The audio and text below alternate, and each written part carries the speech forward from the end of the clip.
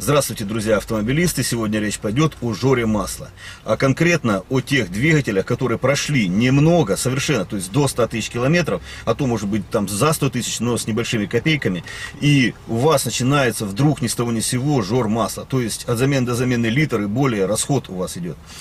Я сам столкнулся с такой проблемой, и уже у меня дошло это до истерики. Я думал, что японцы совсем не скопали. Это у меня был Nissan Qashqai, купленный в автосалоне. Всю историю, естественно, я сам знал, так как я его эксплуатировал сам с самого нуля. Каждые 10 тысяч я менял масло. И вдруг у меня на 90 тысяч пробега, я проверяю, а у меня не хватает масла больше литра. Больше литра пришлось долить, потому что уровень был настолько низким.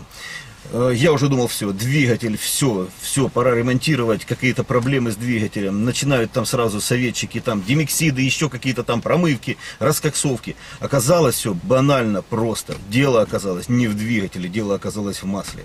Существует несколько видов масел, которые имеют свойство угара. В моем случае это было Castrol Magnetec. Оно очень сильно угорает. Э, я не знаю, может быть вы, когда сталкиваетесь с этим маслом, и вам попадает какое-нибудь другое масло. Но в моем случае Castrol Magnetec использовался несколько раз. И всегда был угар масла. То есть резко начинал падать уровень масла.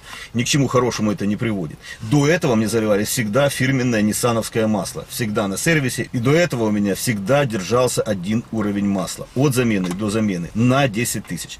Позже я начал изучать, со многими людьми общался на форумах, и мне многие люди подтвердили, что сталкивались с такой же проблемой. То есть резкий угар масла. Поэтому если у вас произошел такой случай, когда вдруг неожиданно, не плавно, а неожиданно быстро появляется резкий жор масла на двигателе, который прошел немного, то прежде всего уделите внимание самому маслу. Замените его на другое, другую марку, посоветуйтесь поспрашивайте на форумах, кто рекомендует какое масло на данный момент, чтобы можно было купить оригинал. Залейте оригинал, хорошее масло с хорошим моющим эффектом и попробуйте на нем поездить. Вполне возможно, что ваш двигатель вообще в идеале и никакого жора масла в нем нет. А это виновато именно само масло, как в моем случае.